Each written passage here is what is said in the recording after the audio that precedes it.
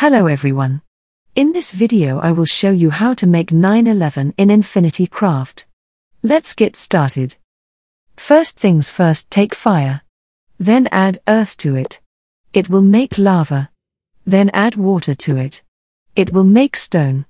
Then take water on other side. Then add earth to it. It will make plant. Then add plant to it. It will make tree. Then add tree to it.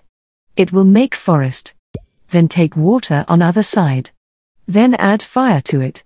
It will make steam. Then add steam to it. It will make cloud. Then add water to it. It will make rain. Then add rain to forest. It will make rainforest.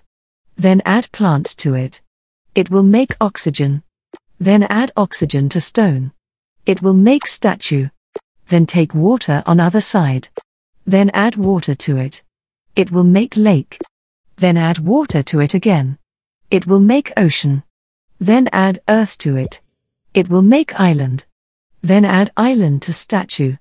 It will make Statue of Liberty. Then add island to it. It will make New York.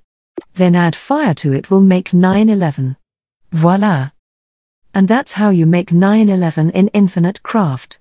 If you find this video helpful don't forget to give it a thumbs up and subscribe to our channel for more Infinite Craft videos.